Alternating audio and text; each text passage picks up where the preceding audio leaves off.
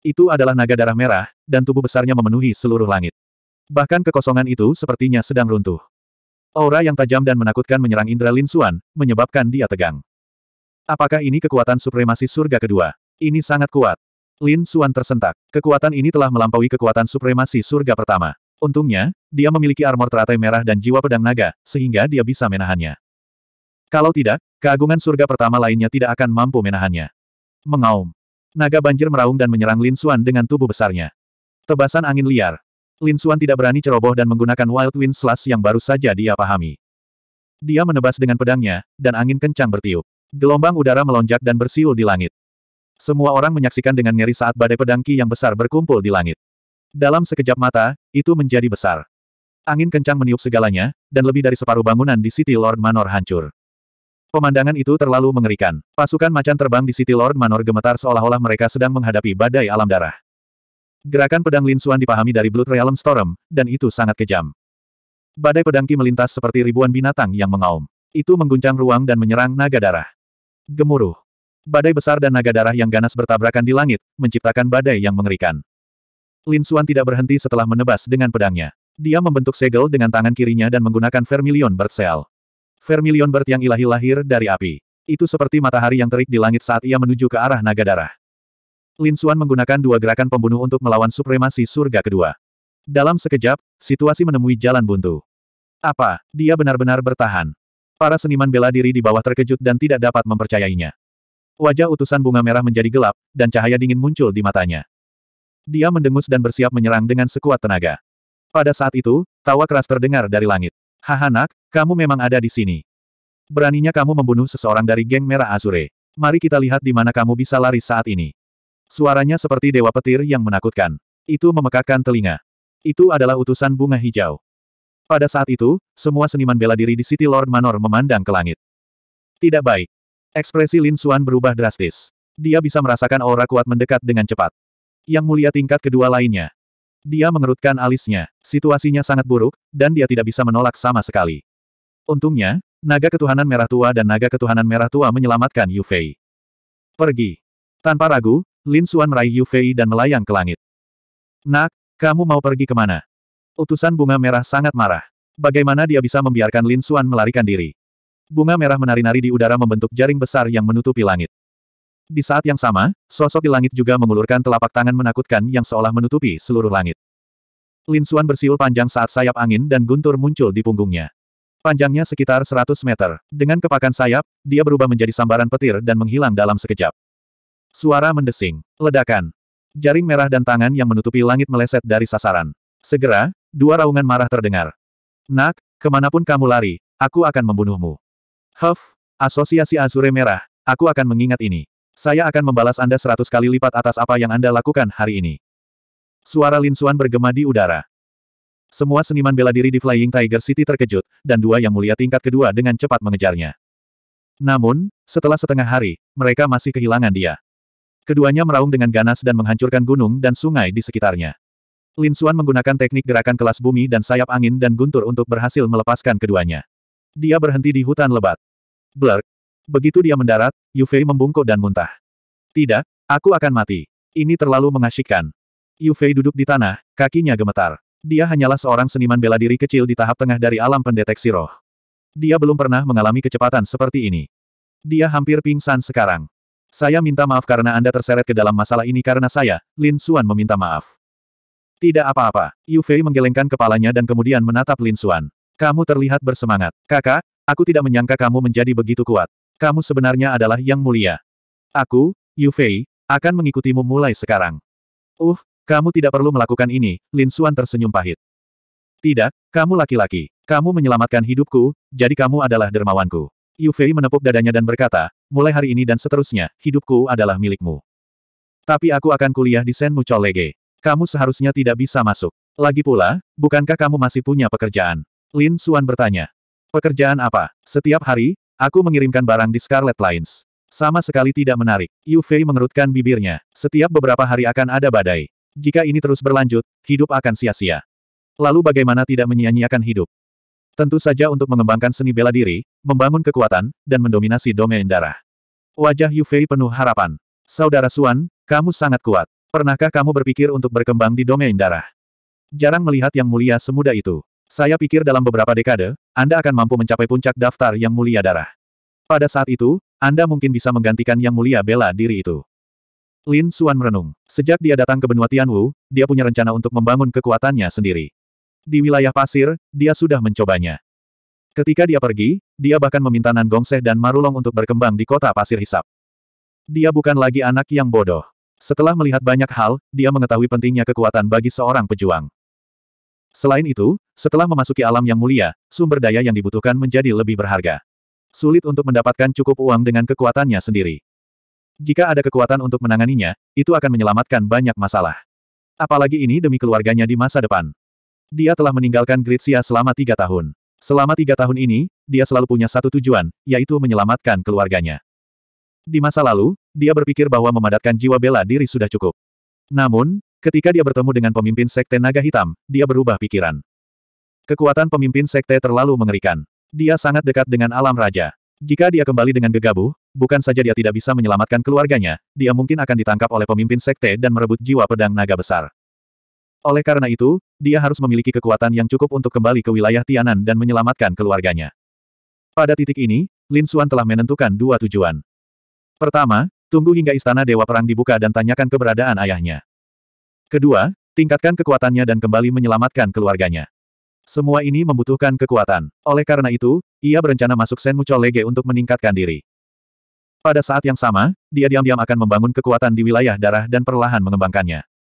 Apa spesialisasimu? Lin Xuan bertanya.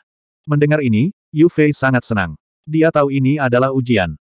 Saudara Xuan, Meskipun saya tidak kuat, saya sangat akrab dengan wilayah darah. Selain itu, saya pandai mengumpulkan informasi. Saya pasti dapat membantu Anda. Baiklah, ayo ke Sen Mucol Lege dulu. Kalau waktunya tiba, kamu bisa tinggal di kota terdekat. Kita akan membahasnya nanti, kata Lin Xuan. Sial, nak, kamu ingin membangun kekuatan. Naga merah menjulurkan kepalanya, wajahnya penuh kegembiraan. Aku mengangkat cakar nagaku sebagai tanda setuju. Ketika saatnya tiba, aku akan mendominasi seluruh wilayah darah dan semua sumber daya akan menjadi milikku. Naga merah tertawa. Dengan begitu, saya bisa pulih dengan sangat cepat. Baiklah, berhentilah bermimpi. Lin Xuan mengetuknya. Kamu ingin mendominasi wilayah darah. Hati-hati jangan sampai ditangkap dan digunakan untuk alkimia. 702. Yu Fei memang ahli bertahan hidup. Mengandalkan pengalamannya, Lin Xuan menghindari beberapa bahaya. Mereka berdua bergegas dan akhirnya sampai di kota Windy. Windy City adalah kota besar dan juga pusat transportasi penting. Itu juga satu-satunya cara untuk sampai ke Sen Mucolege. Oleh karena itu, negara ini sangat makmur. Apalagi menurut perkenalan Yu Fei, kota ini berbeda dengan Flying Tiger City dan kota lainnya. Negara ini tidak didominasi oleh satu kekuatan saja. Sebaliknya, terdapat banyak kekuatan yang hidup berdampingan di kota. Kalau dipikir-pikir, mustahil kota sepenting itu dikendalikan oleh satu kekuatan. Setelah membayar biaya masuk, mereka berdua berjalan menuju kota. Awalnya, Lin Xuan berencana untuk beristirahat dan mengisi kembali perbekalannya sebelum pergi. Namun, saat sedang makan, dia mendengar kabar tentang pelelangan. Ini membuatnya agak terharu. Dia memiliki banyak hal yang perlu diselesaikan, dan lelang ini tidak diragukan lagi merupakan peluang bagus. Saudara Xuan, kamu ingin berpartisipasi dalam pelelangan? Yu Fei bertanya. Ya, saya punya beberapa barang untuk dijual. Saya ingin melihat apakah ada barang bagus. Kenapa kamu tidak menunggu sebentar? Bagaimanapun, tempat ini tidak jauh dari Sen Mucho Lege. Kamu bisa datang lagi jika waktunya tiba. Oh mengapa? Dalam tiga bulan, akan ada lelang super di sini. Besarannya akan sangat besar. Yu Fei berkata, dalam lelang super sebelumnya, akan selalu ada hal-hal baik yang keluar. Di masa lalu, ada dua seni bela diri tingkat bumi di sini. Seni bela diri tingkat bumi. Lin Xuan terkejut. Ketika budidayanya meningkat, dia semakin menyadari betapa kuat dan berharganya seni bela diri peringkat bumi. Seni bela diri semacam ini hanya dikuasai oleh negara adidaya. Mustahil bagi orang awam untuk menguasainya. Namun, lelang super di sini memberikan peluang. Seni bela diri Earth Rank sangat langka. Jika itu benar-benar muncul, para ahli alam darah itu pasti akan menjadi gila. Dalam tiga bulan, oke. Okay. Lin Xuan mengangguk. Dia memutuskan untuk datang lagi dalam tiga bulan. Setelah makan, mereka berdua istirahat malam dan berangkat lagi. Kali ini, mereka tidak memasuki kota. Sebaliknya, mereka langsung berangkat ke Sen Mucolege. Akhirnya, mereka sampai di Skypool City. Skypool City bahkan lebih besar dari Windy City dan juga kuno. Sepertinya tidak ada yang ingat kapan itu dibangun. Seolah-olah kota Skypool diciptakan ketika domain darah dibuat. Ada alasan lain mengapa kota Skypool begitu terkenal, dan itu karena kota ini memiliki salah satu perguruan tinggi paling terkenal di benua langit bela diri, perguruan tinggi Senmu. Perguruan tinggi Senmu sangat besar, menempati hampir separuh kota Tianze. Itu seperti raksasa, berdiri tegak di tanah, tanpa terlihat ujungnya. Perguruan tinggi Senmu adalah satu-satunya kekuatan di kota Skypool. Kekuatan lain di alam darah tidak bisa masuk, mereka juga tidak berani masuk. Pernah ada yang mulia tingkat delapan yang menyebabkan masalah di sini, dan pada akhirnya dia terbunuh. Sejak saat itu, kota kolam surgawi telah menjadi area terlarang di alam darah. Namun, itu telah menjadi surga bagi para jenius di benua langit bela diri. Justru karena kekuatan dan keamanan Skypool City dan Senmucho Lege, banyak orang jenius dari seluruh benua berkumpul di sini. Lin Xuan datang pada waktu yang tepat, karena dalam beberapa hari, ini akan menjadi hari pemilihan akademi. Selama mereka lulus ujian, mereka akan bisa masuk akademi untuk berkultivasi. Oleh karena itu, kota Skypool saat ini sangat ramai, dengan seniman bela diri muda di mana-mana. Lin Xuan dan Yu Fei berjalan di jalanan, memandang orang yang lewat, dan memujinya di dalam hati mereka. Saudara Suan, ini pertama kalinya saya datang ke kota Skypool. Seniman bela diri di sini sangat kuat. Yu Fei memasang wajah penuh rasa iri. Lin Xuan juga terkejut. Mereka memang sangat kuat. Hanya dalam waktu singkat, dia telah melihat beberapa seniman bela diri yang tidak lebih lemah darinya. Aura di tubuh mereka sangat kuat, dan bahkan memiliki aura roh bela diri yang samar. Seperti yang diharapkan dari Sen Mucho Lege, untuk menarik begitu banyak pakar muda. Lin Xuan sangat bersemangat. Bersaing dengan para jenius adalah kebahagiaan terbesar. Maaf, ini sudah penuh. Penuh. Setelah menanyakan beberapa penginapan, mereka semua diberitahu bahwa mereka sudah penuh, dan tidak ada kamar tambahan. Tidak hanya Lin Xuan, para seniman bela diri yang datang kemudian juga tidak memiliki tempat tinggal. Saya pernah mendengar tentang suatu tempat di mana seharusnya ada tempat tinggal. Yu Fei berpikir lama, dan berkata perlahan. Namun, sepertinya tidak mudah untuk tinggal di kamar di sana. Tidak mudah. Lin Xuan bingung. Saudara Xuan, kamu akan tahu kapan kamu sampai di sana. Segera, Lin Xuan tiba di tempat yang disebutkan Yu Fei. Gedung penyapu angin bukan sekedar bangunan, melainkan sebuah penginapan yang besar dan mewah. Itu memiliki segalanya mulai dari kamar biasa hingga halaman independen yang indah. Pada saat ini, gedung penyapu angin dikelilingi oleh seniman bela diri yang tak terhitung jumlahnya. Melihat adegan ini, Lin Xuan menghela nafas. Dengan begitu banyak orang, meskipun dulu ada ruangan kosong, sekarang mungkin sudah hilang. Melihat pemandangan yang ramai dan berisik, Lin Xuan menganggapnya lucu. Dia merasa sulit membayangkan begitu banyak anak muda jenius yang bertengkar karena sebuah ruangan. Bang! Suara rendah menyela fantasi Lin Xuan. Dia mendongak dan melihat kerumunan di depan gedung penyapu angin bubar. Beberapa sosok terbang dan jatuh ke tanah. Apakah kamu tuli? Aku bilang tidak ada ruang, jadi tidak ada ruang. Beraninya kamu mendesakku. Bos wanita muda dan cantik itu berjalan keluar dengan tangan di pinggul. Dia sombong seperti seorang putri. Kamu, kamu berani memukul kami. Para pemuda itu bangkit dari tanah dengan ekspresi marah di wajah mereka. Itu terlalu memalukan. Mereka jenius dan berbakat luar biasa, namun mereka bahkan tidak bisa menyewa kamar, dan bahkan diusir. Apalagi banyak sekali orang yang menonton. Bagaimana mereka bisa bertahan hidup di masa depan?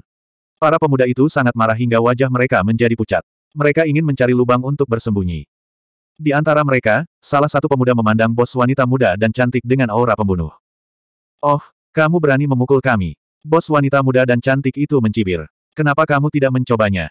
Lalu, dia mengeluarkan sebuah tanda. Buka mata anjingmu dan perhatikan baik-baik. Ini ruang ujian Universitas Senmu. Jika kamu ingin membuat masalah di sini, lupakan saja untuk masuk Universitas Senmu seumur hidupmu.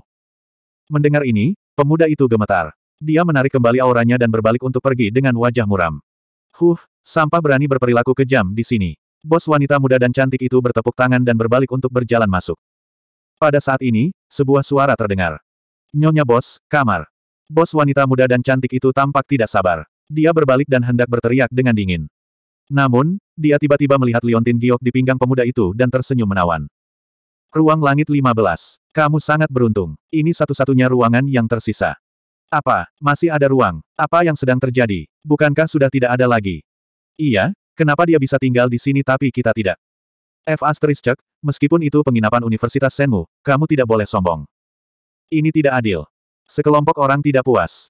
Huh, sekelompok idiot. Apa yang kamu tahu? Bos wanita muda itu mendengus. Dia menunjuk pada Liontin Giok pemuda itu dan berkata, lihat, Liontin Giok bela diri abadi.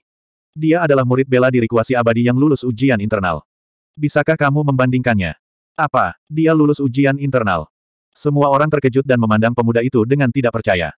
Ujian Senmu Cholege sangat ketat. Meskipun orang-orang ini semuanya jenius, hanya 10% dari mereka yang lulus ujian. Tes internal bahkan lebih ketat. Tingkat kelulusannya hanya satu persen. 703.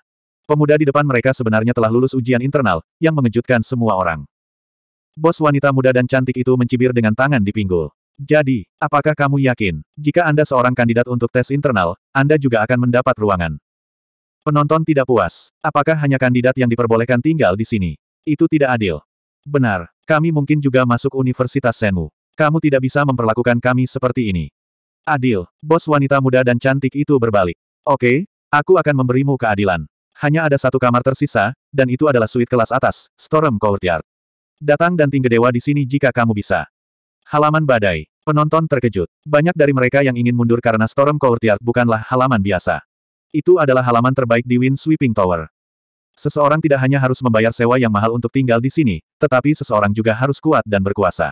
Dengan kata lain, orang biasa tidak bisa tinggal di sini sama sekali. Namun, seniman bela diri yang datang ke sini semuanya jenius dengan keluarga kuat di belakang mereka. Setelah beberapa pertimbangan, mereka memutuskan untuk tinggal di Storm Courtyard. Lin Xuan berdiri di tempatnya. Setelah mengetahui tentang Storm Courtyard, dia sedikit terkejut. Kemudian dia menggelengkan kepalanya sedikit dan tidak berniat untuk berkompetisi. Nyonya bos, saya akan mengambil Storm Courtyard. Kau akan mengambilnya. Sombong sekali. Siapa kamu? Nyonya bos, simpan Storm Courtyard untukku. Berhentilah berkelahi. Ini milikku. Kerumunan kembali mengobrol dan bertengkar. Bos wanita muda dan cantik itu menyilangkan tangannya dan berdiri di toko, menatap mereka dengan dingin. Tiba-tiba, sebuah suara muda terdengar. Berhenti berkelahi. Penuh. Storm Courtyard sudah hilang. Hilang. Kerumunan itu memuntahkan darah dan berteriak dengan ketidakpuasan, bukankah kamu bilang masih ada lagi? Kenapa hilang? Nyonya bos, ada apa? Namun, sebelum bos wanita dapat berbicara, seorang pemuda berusia 14 atau 15 tahun muncul di depan orang banyak. Pemuda itu mengenakan pakaian indah dan berkata dengan wajah kekanak-kanakan, karena Storm Courtyard baru saja dipesan oleh tuan muda saya. Menurut tuan mudamu, siapa dia? Beraninya dia mengalahkan kita. Minta dia untuk menyerahkan kamar itu. Jika tidak, jangan salahkan kami karena bersikap kasar. Nak, terlalu berbahaya di sini. Itu bukan sesuatu yang bisa membuatmu terlibat. Keluar dari sini. Penonton tampak tidak senang dan berteriak dengan dingin. Mendengar orang-orang ini menghina tuan muda, wajah pemuda itu menegang dan kemarahan muncul di matanya. Dia berkata dengan marah, cepat minta maaf, atau jangan salahkan aku karena bersikap kasar. Terima kasih kembali. Semuanya tertawa. Bagaimana bisa kamu tidak sopan? Jangan bilang kamu ingin berkelahi. Mereka sama sekali tidak menaruh perhatian pada pemuda. Tidak mengherankan, orang-orang ini jenius dan sangat bangga. Belum lagi seorang pemuda, meskipun mereka jenius di generasi yang sama, mereka tidak akan yakin sama sekali. Namun, di saat berikutnya, mereka semua tercengang. Itu karena pemuda di depan mereka tiba-tiba membentuk segel dengan tangan kecilnya, melepaskan cahaya menyilaukan yang mendorong ke depan. Bang! Para seniman bela diri yang sombong itu tertangkap basah dan terkena cahaya, segera mundur. Suara mendesing. Untuk sesaat, ruang hampa muncul di depan Wind Sweeping Tower. Semua orang terkejut, dan sedikit ketakutan muncul di mata mereka. Seorang anak berusia 14 atau 15 tahun sebenarnya mampu mengusir mereka. Apalagi mereka yang dipukul, wajahnya dipenuhi rasa tidak percaya. Namun, ekspresi ini dengan cepat digantikan oleh kemarahan. Bocah, kamu berani menyerang. Apakah kamu ingin mati? Dikalahkan oleh seorang pemuda di depan semua orang membuat mereka merasa malu. Jika berita ini menyebar, mereka tidak akan bisa hidup lagi. Di kejauhan, Lin Xuan juga terkejut. Serangan barusan tidak terlalu kuat, tapi sangat indah. Dapat dikatakan bahwa pemuda itu sepenuhnya mengandalkan teknik seni bela diri yang mendalam dan indah untuk mengusir semua orang. Menarik, saya tidak menyangka Skypool City memiliki begitu banyak ahli. Lin Xuan sangat bersemangat. Seorang pemuda sudah sangat luar biasa. Seberapa kuatkah pemuda itu? Di depannya, seseorang tidak bisa menahan diri untuk tidak menyerang. Angin dari telapak tangan begitu kencang hingga seolah mengoyak kehampaan. Namun, pemuda itu menghina. Dia melangkah maju dan terus menghindar, dengan tenang menghindari telapak tangan setiap saat. Apa? Semua orang terkejut. Ini sekali lagi di luar dugaan mereka. Namun, yang mengejutkan mereka adalah apa yang terjadi selanjutnya. Mereka melihat pemuda itu terus-menerus membentuk segel di kehampaan, membentuk botol harta karun berwarna biru dan mengangkatnya ke atas kepalanya. Ledakan. Mulut botol menghadap ke bawah, dan seberkas cahaya keluar. Cahayanya sangat besar dan kuat seperti Bima Sakti, melonjak dalam kehampaan dan menabrak pihak lain dalam sekejap mata. Uff! Dengan satu gerakan, pihak lain terlempar. Kemudian, pemuda itu menembakkan sinar air Bima Sakti lagi ke depan Windsweep Inn. Tuan mudaku telah memesan Windsweep Inn. Apakah ada yang punya masalah dengan itu? Suara muda itu terdengar lagi. Semua orang diam. Pertarungan tadi telah mengejutkan mereka. Gerakan kaki yang indah itu, segel tangan yang misterius itu, semuanya membuat mereka tercengang. Tingkat kultivasi pemuda itu tidak terlalu tinggi, namun kekuatannya sangat mengerikan. Tuan muda di belakangnya pasti lebih kuat.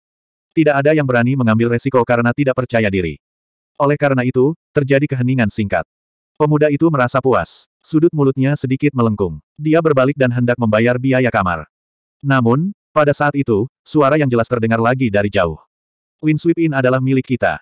Semua orang kaget dan berbalik. Siapa yang berani menyerang mereka? Lin Xuan juga menoleh dengan rasa ingin tahu. Dia melihat tujuh sosok muncul di ujung jalan dan berjalan ke arah mereka. Mereka berjalan sangat lambat. Setiap kali mereka mengambil langkah kecil, mereka menempuh jarak ratusan meter. Seolah-olah mereka telah menyusutkan tanah menjadi satu inci. Dalam sekejap mata, mereka tiba di depan semua orang. Baru pada saat itulah semua orang melihatnya dengan jelas. Tujuh gadis muda dan cantik muncul di depan semua orang. Mereka cantik dan memiliki sosok yang mengesankan. Mereka mengenakan gaun putih panjang dengan sulaman daun merah di lengan mereka. Mereka tidak berhenti dan langsung berjalan menuju Winsweep Inn. Saudara Suan, ayo pergi dan lihat. Yu Fei sangat bersemangat saat melihat tujuh wanita cantik itu. Lin Xuan mengangguk dan mereka berdua berjalan maju. Para seniman bela diri di sekitar mereka juga mengepung mereka. Nyonya bos, saya ingin kamar. Gadis terakhir keluar dan berkata dengan suara manis. Bos wanita muda dan cantik itu melirik sulaman daun merah di lengan baju mereka dan tertawa.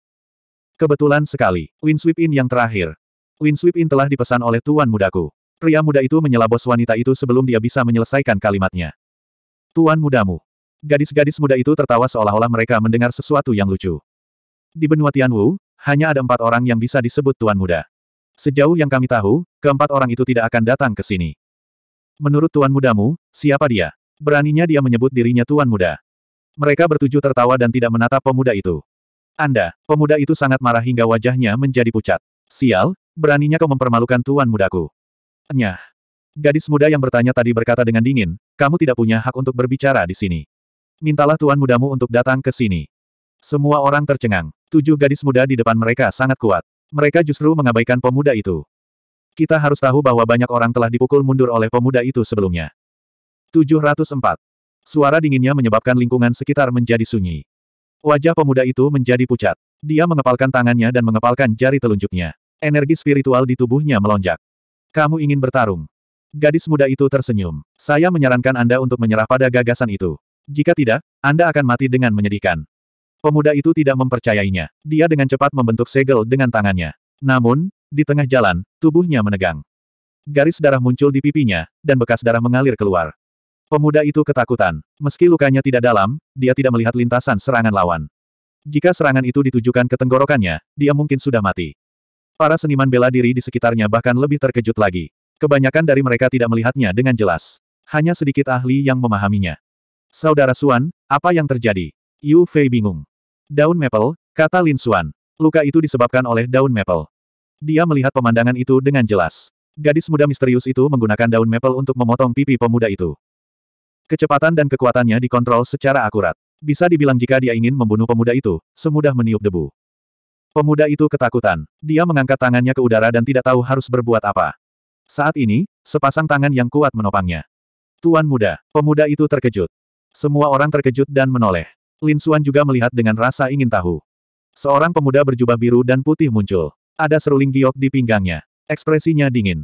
Kaulah yang melukai pelayanku. Pemuda berjubah biru dan putih itu bertanya. Itu aku. Gadis muda itu mencibir.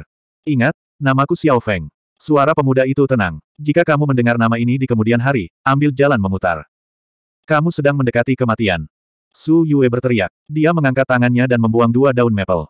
Kecepatannya sangat cepat sehingga kebanyakan orang tidak dapat melihatnya dengan jelas. Berdengung. Berdengung. Namun, Xiao Feng menangkapnya dengan tangannya. Kedua daun maple bergetar di antara jari-jarinya. Mereka ingin melarikan diri, tetapi mereka tidak berdaya. Beraninya kamu menjadi begitu sombong dengan kekuatan sekecil itu. Kembali dan latih selama dua tahun lagi. Mendengar ini, Su Yue sangat marah. Dia berteriak dan mengulurkan telapak tangannya seperti kupu-kupu. Kekuatan yang menakutkan dan besar menyembur keluar. Dia melambaikan telapak tangannya, yang sangat mempesona. Semua orang terkejut. Mereka tidak menyangka keduanya akan benar-benar bertengkar. Orang-orang di gedung penyapu angin tidak puas. Mereka ingin memarahi mereka. Pada saat ini, seorang gadis muda lainnya keluar dan melemparkan daun maple. Ini urusan lembah daun merah. Orang-orang yang tidak ada hubungannya, enyahlah. Suaranya tidak nyaring, tapi semua orang mendengarnya. Lembah merah-merah. Itu mereka. Banyak orang menarik napas dan segera mundur. Ini adalah kekuatan besar yang sangat kuat. Terlebih lagi, cara mereka melakukan sesuatu sangat ekstrim. Sama seperti sekarang, jika seseorang mencoba menghentikan mereka setelah mereka menyebarkan daun merah, mereka akan menjadi sasaran pembantaian mereka. Di masa lalu, ada supremasi yang melanggar aturan mereka dan semuanya terbunuh. Su Yue dan Xiao Feng sedang berkelahi. Keduanya mengendalikan kekuatan mereka dan tidak mempengaruhi menara penyapu angin, seolah-olah mereka mengkhawatirkan sesuatu. Su Yue terlempar ke belakang. Dia memegangi dadanya kesakitan. Kamu berani menyakitiku. Pergi. Su Yue mendengus dingin. Tiba-tiba, ketujuh orang itu menyerang secara bersamaan. Keras kepala, Xiao Feng dengan dingin mendengus. Namun, Xiao Feng menghadapinya dengan tenang. Namun, orang-orang di sekitarnya tidak seberuntung itu. Terutama anak halaman muda, dia dikirim terbang oleh energi. Bocah halaman muda itu berteriak. Tubuhnya terlempar seperti meteor. Xiao Feng sangat marah. Tubuhnya bergoyang, tapi dia dihadang oleh formasi tujuh orang. Melihat pemuda halaman itu terbang, semua orang berpencar. Tidak ada yang berani menangkapnya. Peringatan lembah daun merah masih terngiang-ngiang di telinga mereka. Lembah daun merah sangat kejam. Mereka bahkan berani membunuh yang mulia. Oleh karena itu, tidak ada yang berani menangkapnya. Semua orang berpencar, dan ruang hampa muncul. Namun, ada dua orang yang merupakan pengecualian. Mereka adalah Lin Xuan dan Yu Fei. Yu Fei takut. Dia ingin mundur, tetapi melihat Lin Xuan tidak bergerak, dia hanya bisa berdiri diam. Lin Xuan memandangi anak laki-laki halaman muda yang terbang dan menghela nafas. Dia melambaikan lengan bajunya dan menangkapnya. Terima, terima kasih. Wajah pemuda halaman itu pucat. Apa? Semua orang terkejut. Mereka melihat pemandangan ini dengan tidak percaya. Sebenarnya ada seseorang yang berani ikut campur dalam urusan lembah daun merah. Apakah dia ingin mati? Bos wanita muda dan cantik itu juga terkejut. Dia menatap Lin Xuan dan tiba-tiba mengerutkan kening seolah dia telah menemukan sesuatu. Yang paling marah adalah tujuh gadis dari Red Leaf Valley. Salah satu dari mereka bahkan menembakkan beberapa senjata tersembunyi daun maple ke arah Lin Xuan dan pemuda halaman itu. Bocah halaman muda itu gemetar. Dia tidak bisa melihat lintasannya sama sekali. Semua orang mencibir saat menonton pertunjukan. Mereka mengira Lin Xuan sudah mati. Yu Fei juga berdiri di belakang Lin Xuan dengan gugup. Lin Xuan, di sisi lain, sedikit mengernyit. Dengan lambaian lengan bajunya, dia membentuk pusaran energi dan mengumpulkan senjata tersembunyi daun maple. Apa? Tidak ada apa-apa. Semua orang tercengang. Mereka menyadari bahwa mereka telah meremehkan Lin Xuan. Orang-orang dari lembah daun merah juga tercengang. Saat ini, Xiao Feng berteriak dengan marah. Aura kuat keluar dari tubuhnya dan memaksa ketujuh orang itu mundur. Kedua belah pihak berhenti dan saling berhadapan. Tubuh Xiao Feng melintas dan langsung muncul di depan Lin Xuan. Saudaraku, terima kasih atas bantuanmu. Kata Xiao Feng. Bagaimana aku harus memanggilmu? Lin Xuan. Saudara Lin, saya akan mengingat bantuan ini. Di sisi lain, orang-orang dari lembah daun merah sangat marah. Mereka menatap Lin Xuan dengan niat membunuh di mata mereka. Berat, kamu berani ikut campur dalam urusan lembah daun merah. Kamu sudah mati. Bagus, aku akan membunuh kalian berdua hari ini.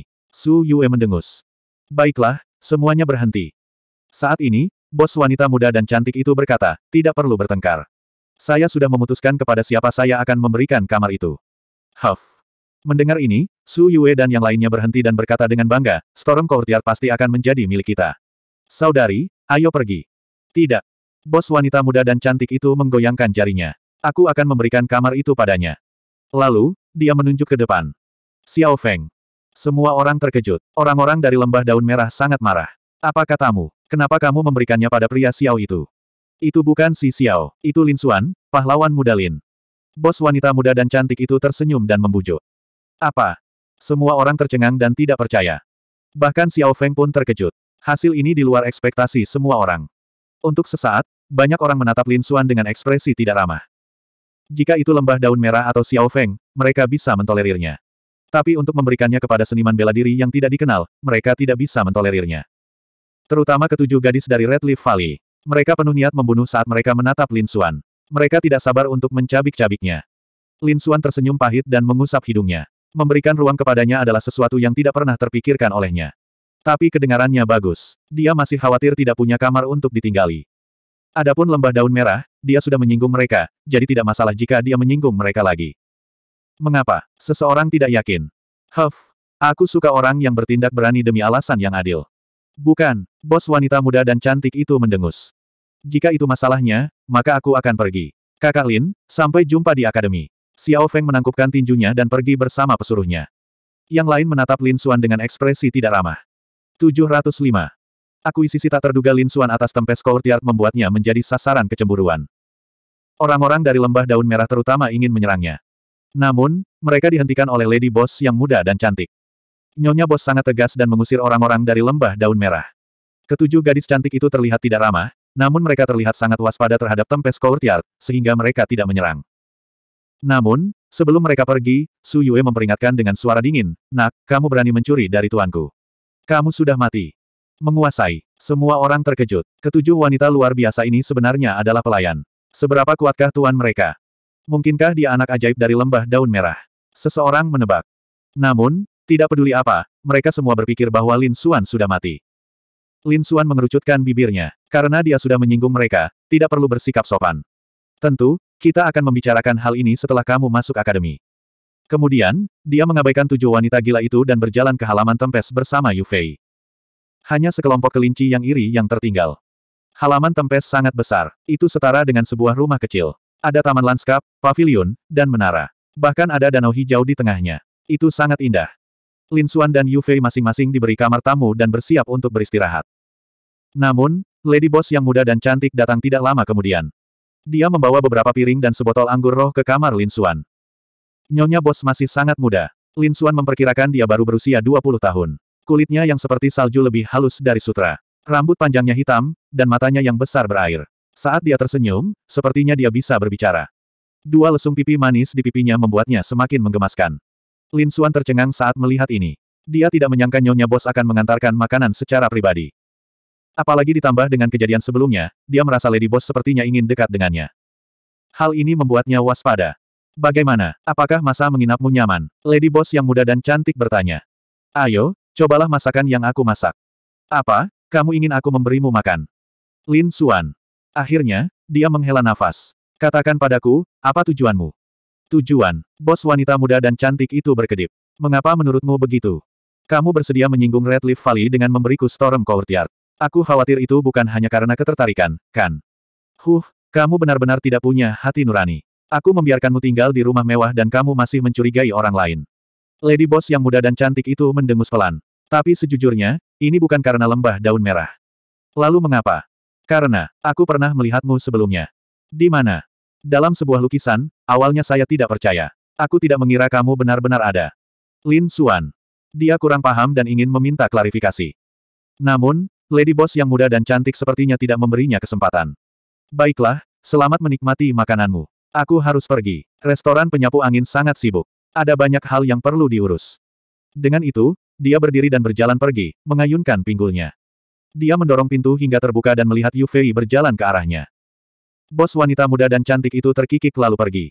Yu Fei tercengang. Kemudian, seolah dia memahami sesuatu, dia mengungkapkan senyuman aneh. Dia berlari ke kamar dan menutup pintu. Dia berkata dengan misterius, Kakak Suan, aku mengagumimu. Kamu menyelesaikannya dengan sangat cepat. Selesai. Apa yang sudah kamu selesaikan? Lin Suan tidak mengerti. Selesai dengan Nyonya Bos. Jangan bilang padaku bahwa kalian berdua tidak berselingkuh. Aku tidak akan percaya bahkan jika kamu memukulku sampai mati. Yu Fei memasang ekspresi, aku tahu. Lin Suan. Pada hari-hari berikutnya, Lin Suan tinggal di Storm Courtyard untuk berkultivasi, sementara Yu Fei keluar untuk mengumpulkan informasi. Meskipun kekuatan Yu Fei rata-rata, dia sangat pandai mengumpulkan informasi. Segera, dia kembali ke kamar Lin Xuan. Kakak Xuan, aku mengerti. Oh, Lin Xuan membuka matanya. Mari kita dengarkan. Penilaian Senmu Cholege dibagi menjadi tiga kategori, bakat, kekuatan, dan kemauan. Mereka yang lulus ketiga kategori ini bisa masuk Senmu Cholege. Jika Anda bukan murid dalam ujian internal, tingkat penilaian normal biasanya satu dari sepuluh. Apalagi dengan syarat kalian semua jenius. Setelah mendengarkan penjelasan Yu Fei, Lin Xuan mengerti. Terus terang, Shen Mu Lege menginginkan orang-orang jenius di antara orang-orang jenius. Berapa hari kita mulai? Tiga hari. Juga, menurut sumberku, kali ini ada lebih banyak orang jenius dibandingkan sebelumnya. Tampaknya ada sesuatu di sekolah yang menarik mereka. Tapi aku tidak tahu persis apa itu.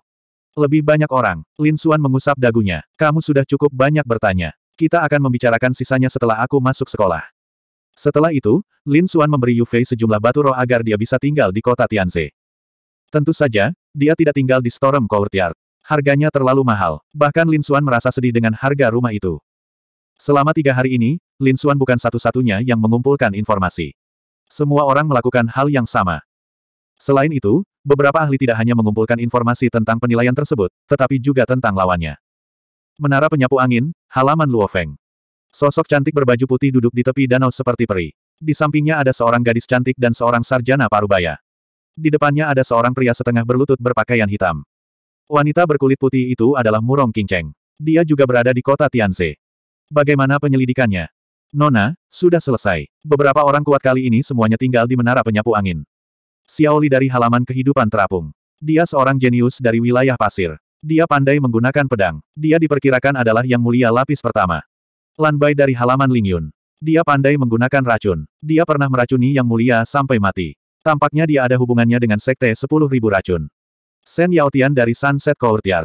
Dia adalah yang mulia lapisan pertama. Dia adalah murid keluarga Sen. Sedangkan untuk Storm Courtyard, orang ini sangat istimewa. Dikatakan bahwa dia dipilih secara acak oleh bos wanita ketika dia bertarung dengan orang lain di lembah daun merah. Dipilih secara acak, gumam Murong Cheng. Mereka yang bisa memasuki tempat ini bukanlah orang biasa. Apa yang Anda temukan? Saya belum menemukan apa pun. Saya hanya tahu bahwa dia dipanggil Lin Xuan. Lin Xuan, Murong Cheng tercengang. Kemudian, dia bertanya, apakah dia seorang pria muda? Iya. Saya tidak menyangka dia akan datang ke sini. Gumam Murong Cheng. Kemudian, dia berkata, baiklah. Kamu boleh pergi. Iya, pria berbaju hitam itu pergi dengan hormat. Dia mungkin datang ke Universitas Senmu karena dia mendengar bahwa Istana Ares ditutup, kata Sarjana Palem Liar. Huff, pria tercela itu. Aku mengutuk dia karena dia tidak bisa lulus penilaian. Linger mendengus. Murong Cheng sangat senang. Ini bagus. Setelah masuk perguruan tinggi, akan ada banyak peluang. Aku tidak percaya dia bisa menolak kali ini. Nona, Meskipun Lin Xuan sangat berbakat, kita masih harus memprioritaskan hal itu, Wild Palm Scholar mengingatkannya. Jangan khawatir, aku tahu. Murong King Cheng mengangguk. Jika beritanya benar, itu akan sangat mengejutkan. Apa pun yang terjadi, saya harus berjuang untuk kualifikasi itu. Tiga hari berlalu dalam sekejap mata. Penilaian Sen Mucho Lege telah dimulai. Babak pertama menguji bakat seseorang. Pemeriksaan ini terutama memeriksa fisik, garis keturunan, bakat, dan kondisi bawaan lainnya. Dalam aspek ini, bakat Lin Xuan luar biasa. Pemahamannya sangat tinggi. Selain itu, fisiknya telah diberi nutrisi oleh cairan roh bumi dan relatif kuat. Namun, dalam aspek garis keturunan, dia biasa saja. Faktanya, dibandingkan dengan seniman bela diri dengan kekuatan garis keturunan, dia sedikit biasa-biasa saja. Namun, secara keseluruhan, dia lulus tes bakat. 706. Di sebuah alun-alun di kota Tianze, ada banyak perangkat dan susunan aneh. Di sebelah mereka adalah murid resmi dari Senmu Cholege. Di tengah-tengah ada beberapa orang tua. Mereka adalah ketua penguji penilaian. Mereka memandang kerumunan orang di alun-alun dengan ekspresi puas. Ada lebih banyak orang dari yang diperkirakan kali ini. Iya, kuharap ada bibit yang bagus. Sebaiknya mereka memiliki kekuatan garis keturunan. Para tetua saling berbisik. Mereka menantikan penilaiannya. Mereka yang bertanggung jawab atas formasi susunan adalah para murid. Dagu mereka ringan saat mereka melihat sekeliling dengan arogan. Murid laki-laki muda itu mengerutkan kening karena ketidakpuasan. Namun, mereka hanya bisa menanggungnya karena status mereka. Sebaliknya, murid perempuan menatap murid resmi dengan perasaan tergila-gila. Beberapa dari mereka bahkan terus melirik genit ke arah mereka. Saudara Yang, kudengar Dewi Murong juga ada di sini. Apakah itu benar? Di antara murid-murid resmi, banyak dari mereka mengalihkan pandangan mereka ke kerumunan. Mereka masih muda, dan sudah saatnya mereka jatuh cinta. Selain itu, Murong King Cheng terlalu terkenal. Oleh karena itu, mereka sangat penasaran. Iya, pemuda yang dipanggil saudara yang itu mengangguk sedikit. Dia mengamati kerumunan dan berhenti di suatu tempat. Bibir Yan Qingyang membentuk senyuman yang menurutnya gagah. Tatwas Murong Cheng. Para murid di sekitarnya sangat gembira ketika mereka mendengar itu. Mereka menoleh dan melihat sosok putih cantik di tengah kerumunan. Dia secantik peri. Dia cantik sekali. Rumornya benar. Dia wanita tercantik di dunia. Siapa pun yang mendapatkan perhatiannya akan diberkati dalam tiga kehidupan. Heh, dengan adanya kakak yang, kita pasti akan menangkapnya. Para murid di sekitarnya memuji. Nak, aku suka mulut manismu. Yan King yang berkata sambil tersenyum. Dia memandang Murong King Cheng dengan wajah penuh kekaguman. Dia menyukai wanita cantik pada pandangan pertama. Pada saat yang sama, dia bersumpah pada dirinya sendiri bahwa dia akan mendapatkannya. Lin Xuan juga melihat Murong King Cheng. Namun, dia tidak berjalan mendekat. Sebaliknya, dia mengangguk dan menyapanya dari jauh. Lin Xuan pasti akan menjadi musuh publik jika dia berjalan mendekat. Dia tidak ingin mendapat masalah. Di saat yang sama, dia melihat Xiao Li dan Shen Yaotian. Lin Xuan juga menyapa yang pertama. Adapun yang terakhir, dia mengabaikannya sama sekali. Shen Yaotian mengertakkan gigi karena marah. Matanya suram saat dia menatap Lin Xuan, niat membunuhnya muncul ke permukaan. Sekarang dia berhasil maju ke alam agung, dia benar-benar yakin dengan kemampuannya untuk membunuh Lin Xuan. Nak, aku akan membiarkanmu menjadi sombong untuk sementara waktu. Begitu kita masuk akademi, lihat bagaimana aku akan membunuhmu. Ledakan. Bel berbunyi dan semua orang terdiam. Pada saat ini, penatua dari Universitas Senmu melangkah maju dan mengumumkan dengan lantang, penilaian dimulai. Tes bakat pertama dimulai. Kemudian, semua orang memulai tes sesuai urutannya. Tes ini dibagi menjadi 10 kelompok, dan setiap kelompok memiliki tiga pilar cahaya, masing-masing menguji bakat, konstitusi, dan garis keturunan. Setiap tes memiliki skor 1 hingga 9. Karena kebanyakan orang tidak memiliki kekuatan garis keturunan, mereka lulus dengan skor 12 atau lebih. Namun, semakin tinggi skor seseorang, semakin banyak perhatian yang mereka terima dari akademi. Bakat, 5 poin, fisik, 6 poin, garis darah, 0 poin, gagal. Berikutnya, pemeriksa berkata dengan dingin. Mendengar itu, penguji pergi dengan sedih. Bakat, 7 poin, fisik, 6 poin, garis darah, 0 poin, lulus. Bakat, 9 poin, fisik, 9 poin. Lin Xuan meletakkan telapak tangannya pada dua pilar cahaya pertama, yang segera menyebabkan pemeriksa berseru. Mereka belum pernah melihat seseorang dengan skor 9 poin, dan suara ini menarik perhatian semua orang. Banyak penguji memandang ke arah Lin Xuan. Pada saat yang sama, para tetua juga melihat ke arah dengan rasa ingin tahu. Bakat dan fisik, skor 9 poin. Seniman bela diri seperti ini sangat langka. Sepertinya keajaiban lain telah muncul. Aku ingin tahu seperti apa garis keturunannya. Penatua lainnya bertanya dengan prihatin. Semua orang juga ingin mengetahui dan memperhatikan. Di antara mereka, pakaian putih murong kinceng berkibar, dan ada sedikit antisipasi di ekspresinya. Mata Sen Yaotian suram, dan dia terus mengutuk dalam hatinya. Di bawah pengawasan semua orang, Lin Xuan meletakkan tangannya di pilar cahaya ketiga. Namun, pada saat berikutnya, pemeriksa tertegun. Ini karena garis keturunan Lin Xuan adalah 0 poin. Garis keturunan, 0 poin. Apa, 0 poin? Jadi dia tidak memiliki kekuatan garis keturunan. Banyak orang menghela nafas lega. Beberapa sesepuh menunjukkan sedikit kekecewaan. Tampaknya mereka sangat menghargai kekuatan garis keturunan. Sen Yaotian mencibir, memang benar, dia tidak memiliki kekuatan garis keturunan. Huh, sungguh sampah. Mari kita lihat bagaimana kamu bersaing denganku. Yan Qingyang juga menggelengkan kepalanya, dan ekspresinya kembali normal. Sejujurnya, ketika Lin Xuan menampilkan skor 9 poin, dia sangat gugup. Namun, sekarang dia melihat garis keturunan Lin Xuan adalah 0 poin, dia merasa lega. Dia jenius, tapi dia tidak akan pernah menjadi jenius terbaik. Ini adalah evaluasinya terhadap Lin Xuan. Kekuatan garis keturunan sangat penting dan memiliki efek menentang alam. Terutama seiring dengan meningkatnya kultivasi seseorang, kekuatan garis keturunan menjadi lebih menonjol. Jika seorang seniman bela diri dengan bakat biasa membangkitkan kekuatan garis keturunan, dia akan menjadi seorang jenius yang tiada taraf. Ini karena kekuatan garis keturunan adalah warisan terselubung. Hanya ketika seorang seniman bela diri tingkat raja atau lebih tinggi muncul dalam sebuah keluarga, garis keturunannya dapat diturunkan. Begitu kekuatan itu dibangkitkan, itu akan menjadi sangat kuat. Bakat dan persepsi Lin Xuan sangat kuat. Tidak banyak yang bisa menandinginya. Namun, babak pertama juga melibatkan garis keturunan. Oleh karena itu, secara ringkas, Lin Xuan tidak menonjol. Di sisi lain, orang lain yang memiliki kekuatan garis keturunan sangat menarik perhatian. Orang-orang di Senmu Lege tampaknya sangat menghargai garis keturunan. Oleh karena itu, dari segi proporsi, mereka lebih menyukai garis keturunan. Selain itu, mereka memberikan perhatian khusus kepada segelintir orang yang memiliki kekuatan garis keturunan. Di antara mereka, Murong Qingcheng, Sen Yaotian, dan yang lainnya telah menunjukkan kekuatan garis keturunan dan menarik perhatian para tetua kampus. Lin Xuan bahkan menemukan bahwa Xiaoli memiliki kekuatan garis keturunan. Nak, bagaimana perasaanmu sekarang? Naga merah bertanya dari kantung binatang iblis. Tidak ada. Menurutku, kekuatan garis keturunan adalah anugerah dari nenek moyang. Lebih baik memilikinya, tapi tidak masalah jika tidak memilikinya. Ekspresi Lin Xuan tenang, dan matanya berkedip. Jadi bagaimana jika saya tidak memiliki kekuatan garis keturunan?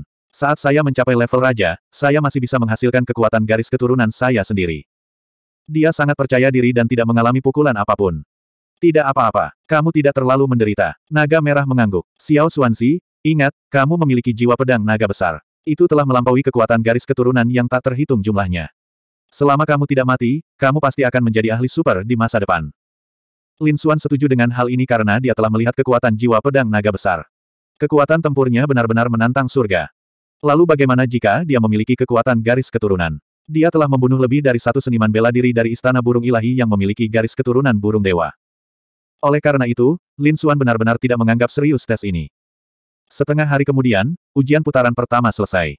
Lebih dari separuh seniman bela diri tersingkir. Mereka semua jenius dari kampung halamannya, tetapi ketika mereka datang ke sini, mereka hanya bisa menerima kenyataan kejam.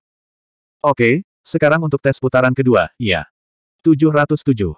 Di akhir babak pertama, poin semua orang terungkap. Mereka yang mempunyai lebih dari 12 poin dianggap lulus. Selain itu, semakin tinggi poinnya, semakin tinggi peringkatnya. Semakin tinggi peringkatnya, semakin banyak perhatian yang akan diterima seseorang setelah memasuki akademi. Murong King Cheng menduduki peringkat pertama, disusul Xiao Li dan Shen Yaotian. Skor Lin Xuan adalah 9 poin, tetapi dia tidak memiliki kekuatan garis keturunan, jadi dia berada di peringkat keempat. Shen Yaotian memandang Lin Xuan dan mendengus. Matanya penuh dengan penghinaan. Lin Xuan menggelengkan kepalanya sedikit ketika dia melihat provokasi di mata Shen Yaotian. Shen Yaotian sudah bukan tandingannya ketika mereka berada di wilayah pasir. Bahkan jika Shen Yaotian telah memasuki alam terhormat, dia tetap bukan tandingannya. Adapun kekuatan garis keturunan, Lin Xuan percaya bahwa jiwa pedang naga miliknya dapat sepenuhnya menekannya. Oleh karena itu, menurut Lin Xuan, provokasi ketidaksabaran Shen Yaotian adalah murni mencari kematian. Oke, ayo lanjutkan ke babak kedua, ujian kemauan.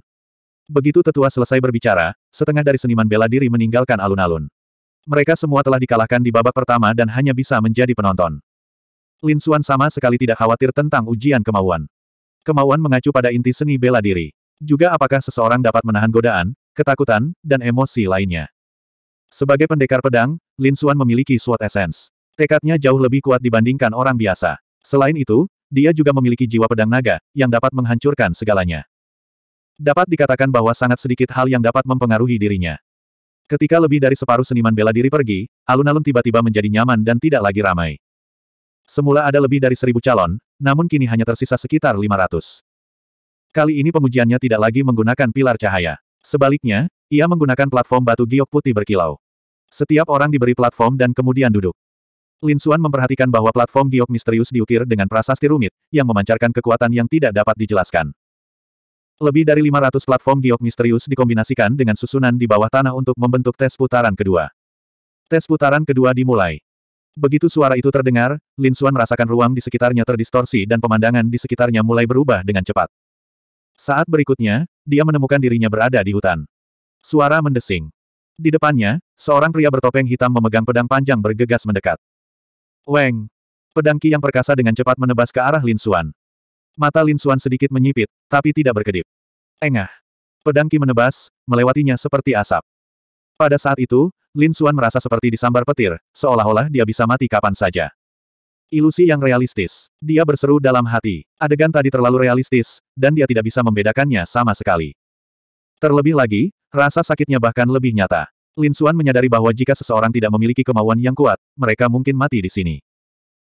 Segera, adegan berubah, dan Lin Xuan memulai tes putaran berikutnya. Saat Lin Xuan mengikuti tes, perubahan terjadi di alun-alun. Beberapa platform giok mendalam bersinar dengan cahaya putih, memindahkan para seniman bela diri ke platform di luar. Semua seniman bela diri yang diteleportasi memiliki wajah pucat dan ekspresi ketakutan. Para seniman bela diri di sekitarnya terkejut. Mereka tidak tahu penilaian seperti apa yang dialami orang-orang ini, tapi melihat keadaan mereka, mungkin sangat mengerikan. Melihat para seniman bela diri yang gagal, para murid resmi tampak menghina, tetapi para tetua di belakang mereka sedikit menggelengkan kepala. Jika mereka bahkan tidak dapat bertahan di awal ujian, tidak ada gunanya tidak peduli seberapa bagus bakat mereka. Ya, anak-anak itu lumayan. Mereka langsung meninggal, kata seorang tetua berjubah merah sambil tersenyum. Dia secara alami memperhatikan beberapa orang yang memiliki kekuatan garis keturunan.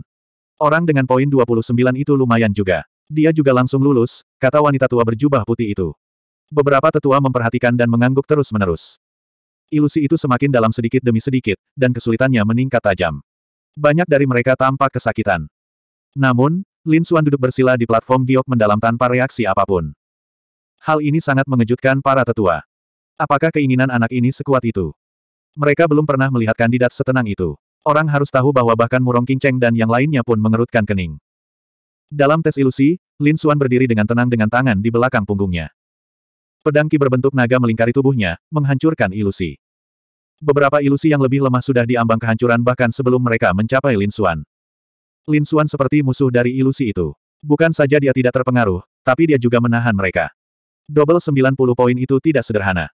Seru beberapa tetua. Murid-murid resmi itu terkejut. Mereka semua adalah orang-orang yang pernah mengalami tes ilusi. Mereka sangat akrab dengan ilusi. Itu adalah mimpi buruk seorang seniman bela diri. Pada akhirnya, mereka bahkan tidak tahu apakah itu ilusi atau kenyataan. Namun, Lin Xuan tidak terpengaruh sama sekali. Yan King yang memandang Lin Xuan dengan tatapan muram. Dia tidak percaya bahwa Lin Xuan bisa tetap tenang. Namun, di saat berikutnya, suara tajam mengejutkannya. Bukan hanya dia, tapi semua orang tercengang. Bahkan para tetua melebarkan mata mereka seolah-olah mereka baru saja melihat hantu. Ini. Beberapa dari mereka saling memandang dan terlalu terkejut untuk berbicara. Itu karena platform giok misterius yang diduduki Lin Xuan tiba-tiba terbuka seolah-olah telah dibelah oleh seseorang. Itu terlalu mengejutkan. Setelah memasuki ilusi, seniman bela diri tidak dapat mengendalikan tubuh mereka, apalagi membelah platform giok misterius. Sekarang, platform giok misterius telah rusak. Apakah ilusi itu tidak mempengaruhinya? Beberapa orang tua mengalami depresi. Mereka belum pernah melihat hal seperti itu. Ilusi itu sangat menakutkan. Belum lagi orang-orang muda ini, bahkan monster tua dari alam terhormat keempat atau kelima pun akan terpengaruh. Aneh, sungguh aneh. Beberapa dari mereka tidak dapat memahaminya. Saat platform giok misterius pecah, Lin Xuan keluar dari ilusi. Setelah mengetahui apa yang terjadi, wajahnya menjadi pucat. Sialan, jika aku tahu, aku tidak akan menggunakan jiwa pedang naga besar untuk menyerang, gumam Lin Xuan pada dirinya sendiri. Dia sedikit khawatir. Apa yang akan terjadi jika dia merusak platform giok misterius? Eh, itu, aku tidak dianggap tersingkirkan. Lin Xuan sedikit bersalah. Para sesepuh menekan keterkejutan di hati mereka saat mereka menatap Lin Xuan tanpa henti. Tidak masuk hitungan, tidak masuk hitungan. Anak kecil, penampilanmu melebihi ekspektasi kami. Anak muda, siapa namamu? Saya kebetulan kekurangan murid. Apakah Anda tertarik menjadi murid saya? Beberapa orang tua bertanya. Junior Lin Xuan menyapa semua senior, kata Lin Xuan dengan hormat sambil berdiri dan meninggalkan alun-alun. Para seniman bela diri di sekitarnya terkejut. Para murid resmi melebarkan mata mereka. Ini adalah pertama kalinya mereka melihat para tetua begitu antusias. Banyak dari mereka bahkan curiga bahwa mereka telah terpengaruh oleh ilusi tersebut. Yan King yang mendengus. Sebagai talenta tertinggi, dia belum menerima perlakuan seperti itu. Bagaimana mungkin seorang pemuda yang bahkan belum masuk sekte menerima perlakuan seperti itu? Oleh karena itu, dia memandang Lin Xuan dengan sedikit permusuhan. Seiring berjalannya waktu, semakin banyak orang yang diutus. Orang-orang ini pucat dan tampak lemah. Kondisi mereka tidak baik. Secara bertahap, jumlah orang di alun-alun berkurang. Pada akhirnya, hanya tersisa beberapa angka saja. Merekalah yang tampil bagus di babak pertama. 708. Hanya ada beberapa orang yang tersisa di alun-alun. Mereka adalah Murong King Cheng, Xiao Li, dan yang lainnya. Lan Bai dan beberapa ahli lainnya juga bertahan. Namun, kekuatan alam ilusi meningkat seiring kemajuannya. Bahkan talenta tertinggi pun tidak dapat menahannya. Oleh karena itu, semakin banyak orang yang diutus, dan jumlah orang di alun-alun berkurang. Pada akhirnya, hanya tersisa empat orang, Murong King Cheng, Xiao Li, Lan Bai, dan Shen Yaotian. Saya yakin Murong King Cheng akan tetap menjadi yang pertama di babak kedua. Itu sudah jelas. Bahkan orang idiot pun bisa melihatnya. Dia memang gadis kesayangan Tuhan. Tidak hanya cantik, tapi kekuatannya juga tak tertandingi. Siapa pun yang menikahi wanita seperti itu akan diberkati selama sepuluh kehidupan.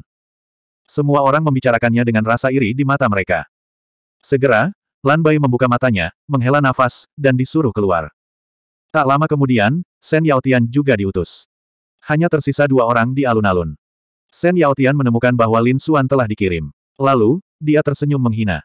Sampah. Bukan saja kamu tidak punya kekuatan darah, tapi tekadmu juga sampah. Lalu bagaimana jika kamu yang memimpin? Jalan seni bela diri adalah ujian kekuatan menyeluruh. Aku akan memberitahumu siapa talenta tertinggi sebenarnya. Sen Yaotian penuh ambisi. Dia tidak sabar untuk bertarung dengan Lin Xuan dan menginjak-injaknya. Menurutnya, Lin Xuan pasti tidak melewati alam ilusi dan dikirim terlebih dahulu. Lin Xuan mengabaikan Sen Yaotian dan menatap dua sosok di alun-alun. Xiao Li adalah seorang pendekar pedang. Dia memiliki niat pedang dan bahkan memadatkan jiwa pedang. Keinginannya sangat kuat. Dia jauh lebih kuat dari prajurit biasa. Lin Xuan mengetahui hal ini. Oleh karena itu, dia berspekulasi bahwa Xiao Li akan mampu bertahan hingga akhir. Namun, penampilan Murong King Cheng di luar ekspektasinya. Lin Xuan tidak pernah bisa melihat gadis yang sudah terkenal sejak lama ini. Dia tidak tahu apa jiwa bela dirinya, dan dia bahkan tidak tahu apa tingkat kultivasinya. Namun, dia yakin bahwa Chen Xi pasti telah memasuki alam agung sejak lama. Terlebih lagi, sepertinya bakat dan kemauan alami Chen Xi adalah eksistensi kelas atas. Seperti yang diharapkan dari putri surga yang terberkati, dia memang gagah berani. Di alun-alun, beberapa tetua memandangi sosok cantik itu dan mengangguk puas. Waktu berlalu dengan lambat ketika kerumunan menunggu dengan cemas. Mereka tidak menyangka akan ada seseorang yang bisa bersaing dengan Murong King Cheng. Tiba-tiba, Xiao Li mengerutkan alisnya. Tubuhnya bersinar dengan cahaya putih saat dia diteleportasi. Sudah keluar. Sepertinya hasilnya sudah diputuskan. Murong King Cheng menang. Pendukung Murong King Cheng bersorak.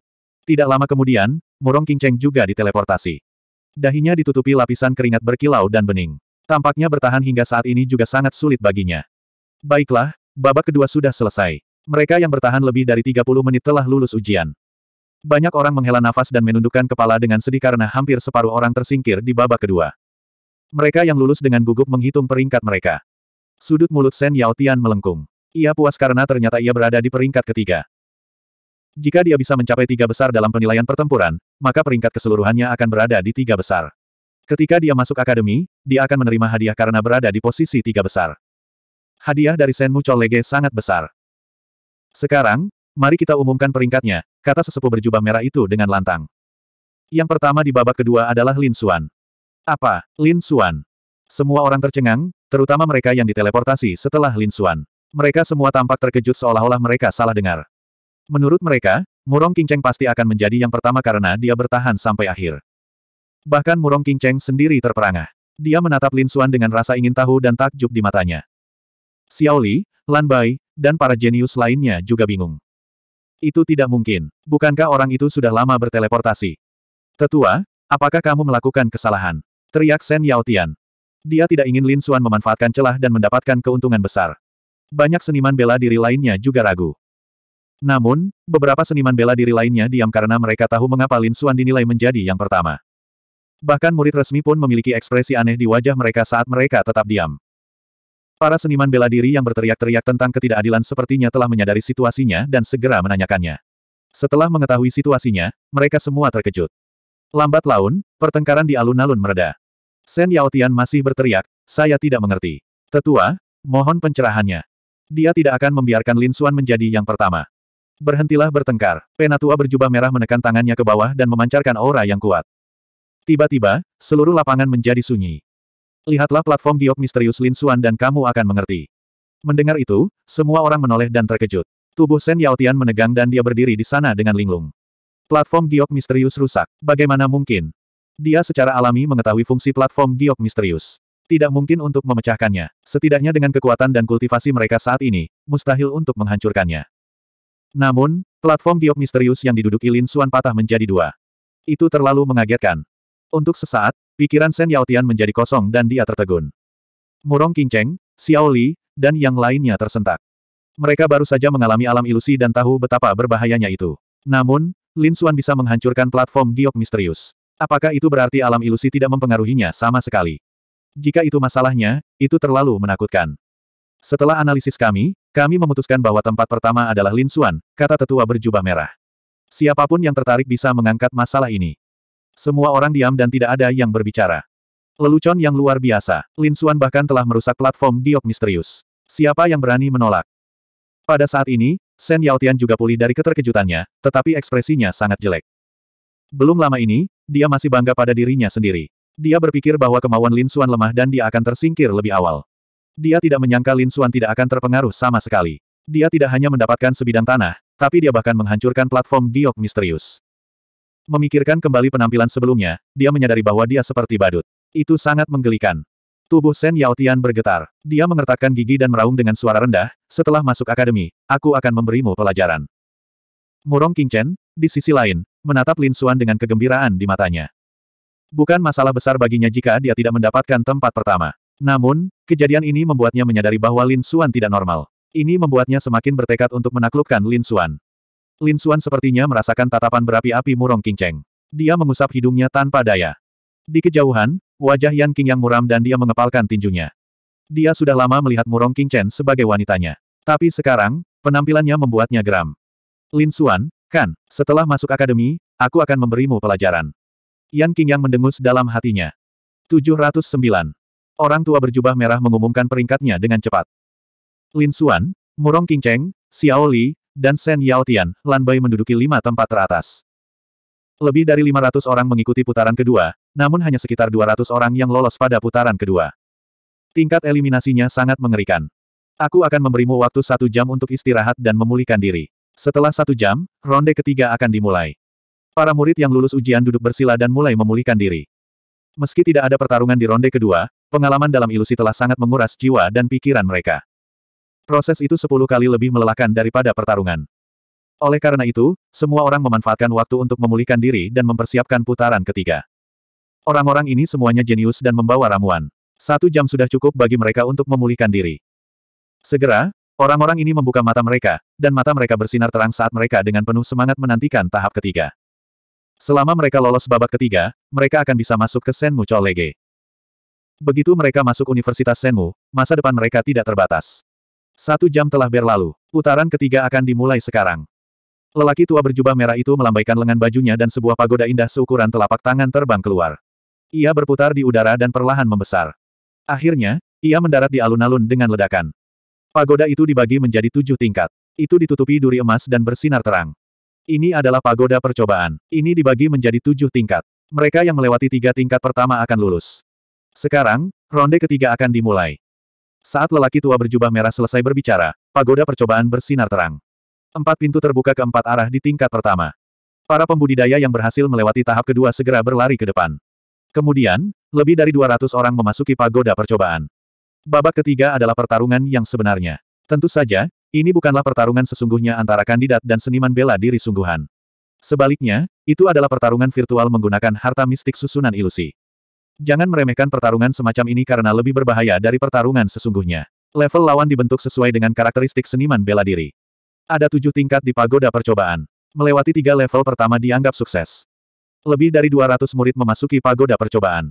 Kemudian, pintu di tingkat pertama ditutup dan lampunya diredupkan. Pagoda percobaan berdiri di alun-alun seperti gunung emas kecil. Segera, semua orang menyadari bahwa menara percobaan berbeda karena lantai pertama menunjukkan 234 titik cahaya. Mereka mewakili 234 orang yang baru masuk. Lin Xuan mengikuti semua orang ke menara ujian dan muncul di ruang independen. Di dataran merah yang tak berbatas, langit agak suram, dan angin menderu-deru di sekeliling. Jika Lin Xuan tidak memiliki kemauan yang kuat, dia akan berpikir bahwa dia telah tiba di dataran merah. Namun, dia tahu ini semua hanyalah ilusi. Kemudian, dia terkejut lagi karena dia menemukan bahwa pedang bayangan angin di pinggangnya telah hilang, dan armor dalam peringkat roh tingkat tinggi di tubuhnya juga telah hilang. Yang menggantikannya adalah armor hitam biasa dan pedang panjang besi hitam. Sepertinya dia tidak bisa menggunakan hartanya sendiri dan hanya bisa menggunakan senjata dan armor yang disediakan oleh ruang ini. Lin Xuan sepertinya memahami aturan di sini. Dia mencobanya dan menemukan bahwa dia dapat menggunakan energi spiritualnya untuk membentuk baju besi teratai merah. Dengan kata lain, kekuatannya tidak terpengaruh. Namun, dia dengan cepat melepaskan Red Lotus Armor. Menurut spekulasinya, jika dia mati di sini, itu berarti dia gagal dalam ujian. Dia tidak akan benar-benar mati. Oleh karena itu, Lin Xuan tidak akan melewatkan kesempatan bagus untuk bertarung. Dia menyerah pada baju besi teratai merah dan memutuskan untuk menggunakan senjata paling biasa untuk bertarung. Sesosok terkondensasi di Scarlet Lines di depannya. Orang itu juga mengenakan baju besi hitam dan memegang pedang besi hitam. Dia mengenakan topeng hitam di wajahnya dan tampak seperti pembawa pesan dari dunia bawah. Lin Xuan tahu dari aura pihak lain bahwa dia adalah yang mulia setengah langkah. Sepertinya lantai pertama itu mudah. Lin Xuan menyeringai. Yang mulia setengah langkah bukanlah apa-apa baginya. Dia memegang pedang besi hitam biasa dan mengeluarkan sambaran petir hitam di udara, langsung menusuk tenggorokan pihak lain. Uff! Sosok hitam itu jatuh dan berubah menjadi energi spiritual, menghilang dari ruang ini. Namun, dua angka lagi segera mengembun. Pedang hitam dan topeng hitam. Mereka berdua adalah yang mulia setengah langkah. Ekspresi Lin Xuan tidak berubah, dan dia terus menusuk dengan pedangnya. Pedang besi hitam itu bergerak di udara, seketika membentuk dua bayangan pedang yang menusuk ke arah dua seniman bela diri berpakaian hitam itu.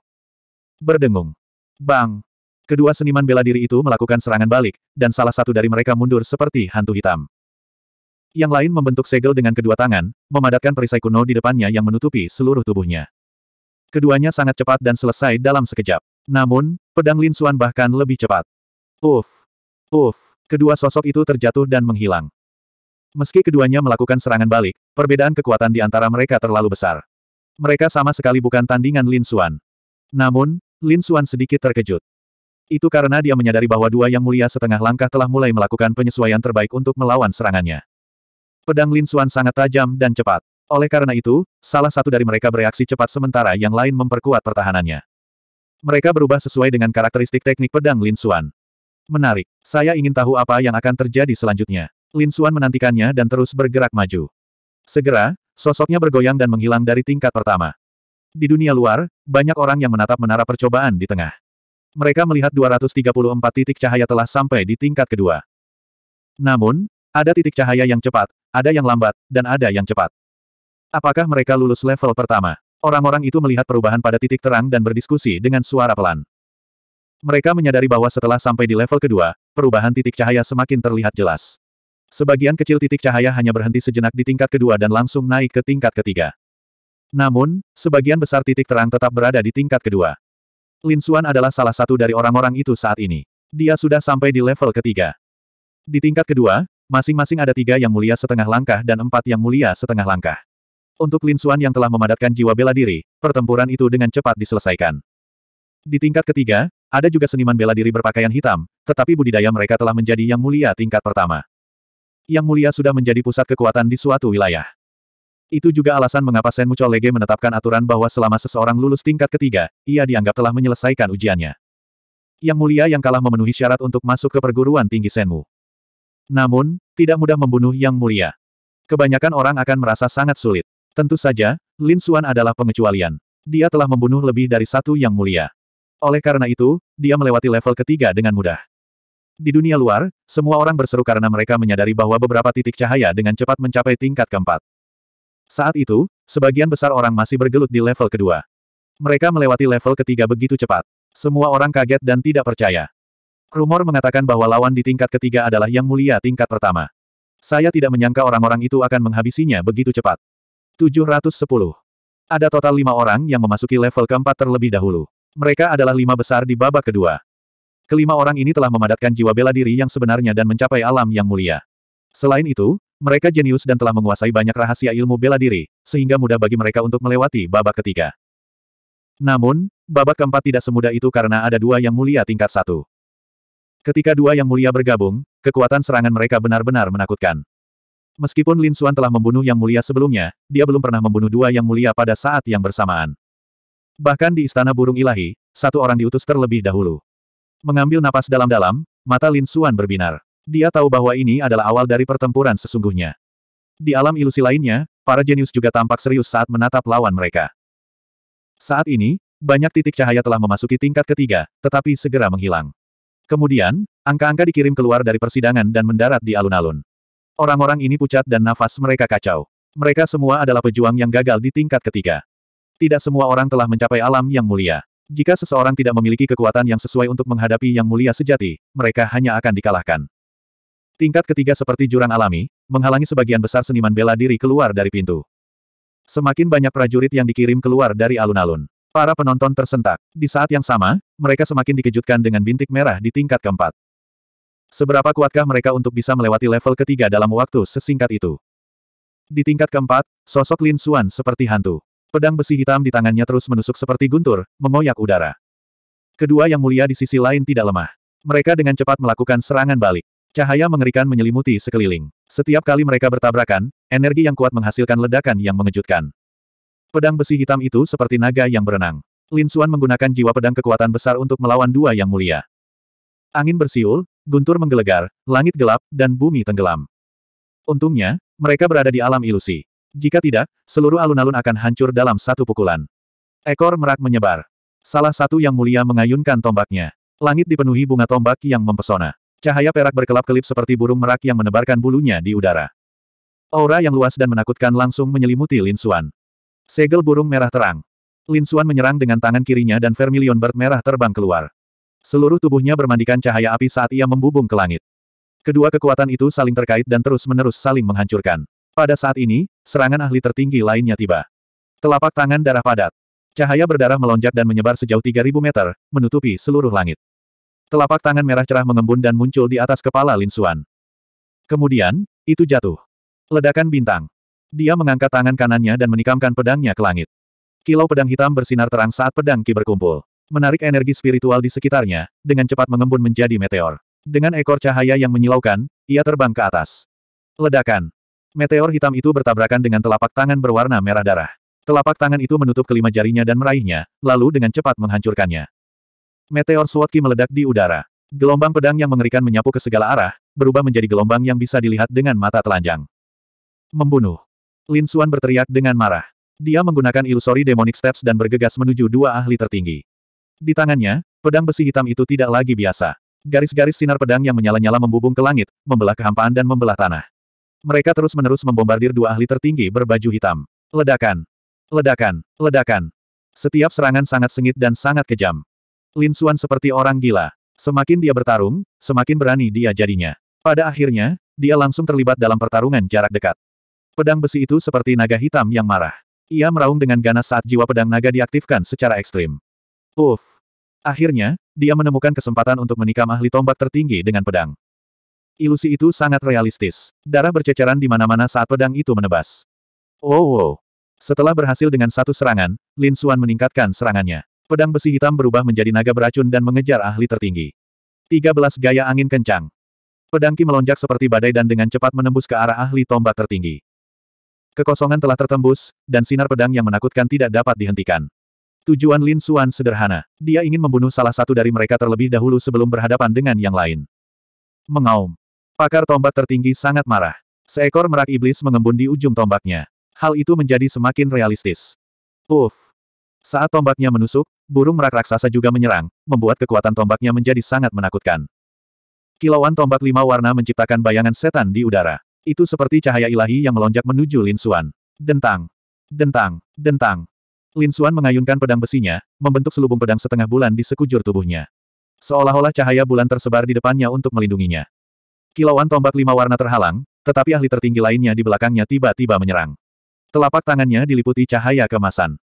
Lin Xuan mencoba yang terbaik untuk menghindar, tapi dia masih tersapu bahunya. Tubuhnya langsung terhempas ke tanah seperti meteor. Ledakan.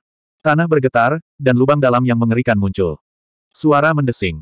Pada saat berikutnya, Lin Xuan melonjak ke langit. Tubuhnya ditutupi oleh selubung pedang saat dia menyerang lagi. Meskipun dia terluka, dia tidak bisa beristirahat dalam situasi ini. Dia harus menyelesaikannya secepat mungkin. Jiwa pedang naga meraung, dan seluruh langit bergetar. Pada saat ini, kekuatan tempur Lin Xuan ditingkatkan secara ekstrim. Seluruh tubuhnya seperti pedang dewa. Dia berdiri di kehampaan, dan tubuhnya memancarkan cahaya menyilaukan yang menerangi langit yang gelap. Lin Xuan mengambil langkah maju dan tiba di depan Sangwin Palem yang mulia dalam sekejap. Dia mengayunkan pedang besinya dengan cepat. Itu sangat cepat sehingga sulit dipercaya. Dalam sekejap, ia memotong bahu Sangwin Palem yang mulia, memperlihatkan tulang putihnya yang menakutkan. Segel burung merah terang.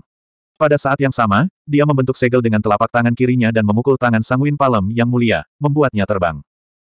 Pedang besi itu jatuh lagi seperti sambaran petir hitam, membelah Sangwin Palem yang mulia. Ahli tertinggi pertama dihancurkan. Mengaum. Yang mulia tombak panjang meraung dan menyerang lagi dengan tombaknya. Gaya badai. Lin Xuan mengangkat pedang besinya ke udara dan melakukan gerakan membunuh. Angin kencang bertiup, dan badai merah bertiup di dataran Sangwin seolah-olah akan menghancurkan dunia. Puncak gunung hancur, dan pepohonan tumbang. Semuanya hancur di mana pun badai merah lewat. Dalam sekejap, yang mulia tombak panjang tertutup dan mengeluarkan tangisan yang menyedihkan. Badai merah terjadi di mana-mana dalam radius 100 meter, dan seluruh tanah runtuh. Namun, sebelum kekuatannya menghilang, sosok Lin Xuan berubah menjadi seberkas cahaya dan menghilang. Di ruang ilusi lainnya, telapak tangan seperti batu giok milik Murong Kinceng bersinar seolah-olah itu adalah tangan Tuhan. Dia menghancurkan yang mulia dengan satu telapak tangan. Setelah itu, dia mengubah telapak tangannya menjadi jari dan menunjukkannya. Cahaya jari yang tebal seperti naga banjir, dan itu sangat menakutkan. Segera, sosoknya juga menghilang dari tingkat keempat. Orang lain masih berjuang keras. Di dunia luar, semua orang menunggu dengan sabar. Tiba-tiba, mereka sepertinya menyadari sesuatu dan berdiri dengan penuh semangat. Tingkat kelima, seseorang muncul di tingkat kelima. Dua, ada dua. Semua orang gempar. Kesulitan setiap level menara percobaan meningkat secara eksponensial, dan level keempat sepuluh kali lebih sulit daripada level ketiga. Ini adalah sesuatu yang diketahui semua orang. Namun, dalam kurun waktu sesingkat itu, dua orang berhasil menerobos. Sungguh sulit dipercaya.